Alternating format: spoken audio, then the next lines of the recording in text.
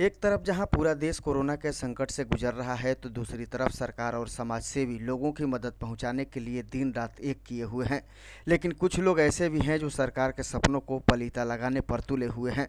हम बात कर रहे हैं बक्सर ज़िले के केसठ प्रखंड के प्रखंड विकास पदाधिकारी प्रभात रंजन की। प्रखंड विकास पदाधिकारी का एक वीडियो इन दिनों सोशल मीडिया पर काफ़ी तेज़ी से वायरल हो रहा है, जिसमें अपनी समस्याओं को रख रहे क्वारंटाइन सेंटर में मौजूद लोगों पर वो अपना रौब झाड़ते नज़र आ रहे हैं। बताया जा रहा है कि वीडियो साहब को क्वारंटाइन सेंटर का मुआयना करने गए थे, तभी वहाँ मौजूद क्वारंटाइन लोगों ने अपनी समस्याएँ बताना शुरू किया। लोगों की समस्याएँ सुनकर वीडियो साहब भड़क गए और कहने लगे कि जब ऊपर से आपूर्ति ही नहीं है तो मैं कंप्लेन किसे करूँगा? क्वारंटाइन सेंटर पर समस्याओं से जूझ रहे जब लोगों ने इस बाबत मीडिया को बुलाने की बात की तो वीडियो साहब का गुस्सा सातवें आसमान पर चढ़ गया। उन्होंने कह दिया कि मीडिया को क्वारंटाइन सेंटर में आने की इजाज़त नहीं है और अगर मीडिया यहाँ आ भी जाती है तो वह उनका हाथ पैर तोड़ देंगे।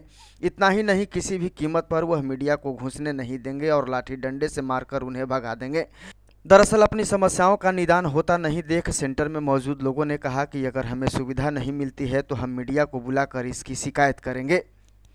सैनिटाइजर नहीं सप्लाई किया गया है। आप लोग साबुन से 20 सेकंड हाथ साफ़ कीजिए। आपको इसको व्यवस्था करना पड़ेगा सर। नहीं नहीं नहीं व्यवस्था नहीं कर पाएँगे। इसको हम ऊपर आप कंप्लेन आप ऊपर कंप्लेन हम कह रहे हैं कि सैनिटाइजर नहीं आपूर्ति किया गया है। सर आप ऊपर नहीं नहीं कंप्लेन नहीं करेंगे। जब ऊपर में सप्लाई नहीं है आप तो मत कीजिए कंप्लेन आप मत कीजिए हम कर लेंगे हम मीडिया बुलाएँगे ऐसा बात नहीं है। तो मीडिया मीडिया को हिम्मत है अंदर आने का।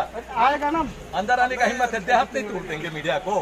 तो ठीक बात आप तो हाथ पैर तोड़ दीजिएगा वीडियो बनाते यही मीडिया- तो- वीडियो तो बन रहा है यार टेंशन नहीं है मीडिया को आने का तुम ऐसी भीसी में ऐसी करो तुम रिकॉर्डिंग करो हम बोल रहे हैं कि मीडिया को अंदर आने का इजाज़त नहीं है। आप आएँगे तो हाथ तोड़ पे हाथ गोड़ तोड़ देंगे। आएगा तो उसको नहीं आने देंगे। आ, मार दीजिएगा उसको। नहीं बिल्कुल नहीं आने देंगे। हाँ, ठीक है, सर। भगा देंगे। डंडा से मार के भगा हाँ, दीजिए। ठीक है सर। चावल यही मिलेगा खाने के लिए। चावल यही मोटा वाला चावल मिलता है खाने के लिए। कहाँ मोटा चावल मिलता है? तो कोटा वाला चावल खाया स्कूल वाला? इस तस्वीर के सामने आने के बाद अब सवाल यह खड़ा होता है कि क्वारंटाइन सेंटरों में कुव्यवस्था को लेकर एक तरफ़ जहाँ विपक्ष सरकार को लगातार घेर रहा है तो वहीं दूसरी तरफ़ सरकार के तरफ़ से सब कुछ ठीक ठाक होने का दावा किया जा रहा है। लेकिन सरकार के अधिकारी ही जब सुविधाओं का रोना रोने लगें और अपने विभागीय कमियों की गुस्सा आम लोगों पर उतारने लगें तो फिर इसे क्या कहा जा सकता है? मामला संज्ञान में आने के बाद बक्सर डीएम अमन समीर ने दोषी अधिकारी के खिलाफ कार्रवाई किए जाने की बात कही, लेकिन सवाल यह है कि अपनी कमियों को छुपाने के लिए मीडिया का हाथ पर तोड़ने की बात कहने वाले इस अधिकारी के खिलाफ क्या कुछ कार्रवाई होगी, यह देखना भी दिलचस्प होगा।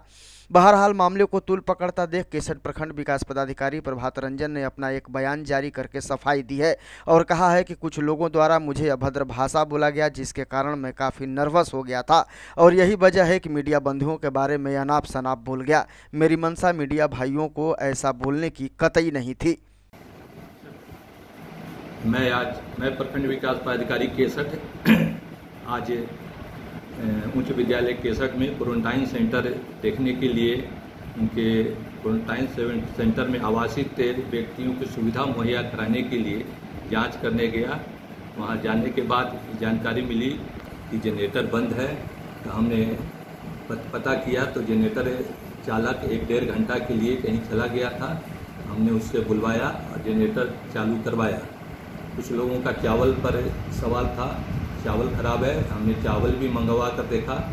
लोगों ने कहा कि नहीं, चावल अच्छा है और इस कारण से चावल भी लोगों के द्वारा अच्छा माना, कहा गया।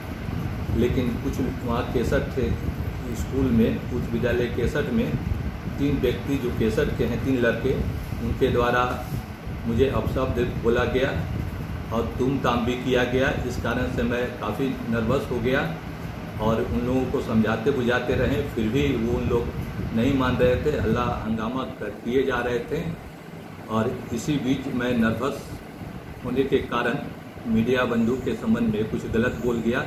इसके लिए मुझे क्षमा प्रार्थी हूँ। मैं, हमारी कभी भी ऐसी मंशा नहीं थी न रहेगी। कि- किसी भी मीडिया बंधु के बारे में कोई तरह का गलत बोलने का इरादा कुछ भी नहीं था। मैं पुनः इसके लिए मैं क्षमा प्रार्थी हूँ